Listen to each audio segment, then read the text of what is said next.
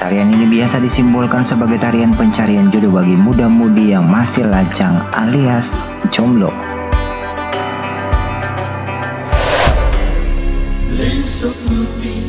Lambang cinta, kasih suci.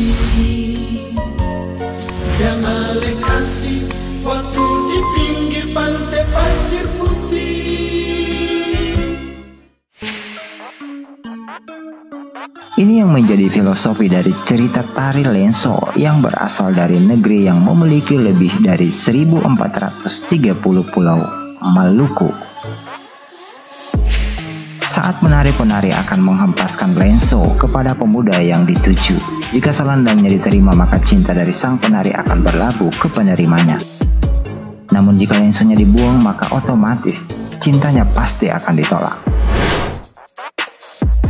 Tari lenso atau biasa disebut tari muda-mudi. Lenso sendiri adalah sebuah kain yang berbentuk seperti selendang kecil atau sapu tangan. Masyarakat di kawasan timur Indonesia biasa menyebut selendang kecil dengan lenso. Fungsi dari lenso dalam tarian ini adalah sebagai alat persetujuan atau penolakan.